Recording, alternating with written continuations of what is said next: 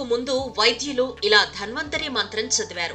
కర్ణాటకలోని కుమారేశ్వర్ హాస్పిటల్లో ఈ దృశ్యం కనిపించింది. రోగికి ఆపరేషన్ చేయడానికి ముందు డాక్టర్లందరూ కలిసి మంత్రాన్ని జపించారు.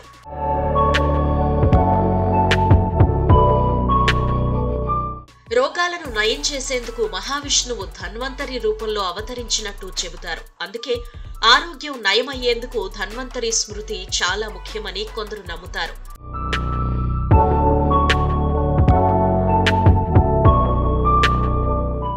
ధన్వంతరి మంత్రాన్ని పఠించడం వల్ల శారీరకంతో పాటు మానసికంగానూ మంచి ఫలితాలుంటాయని కొందరి నమ్మకం.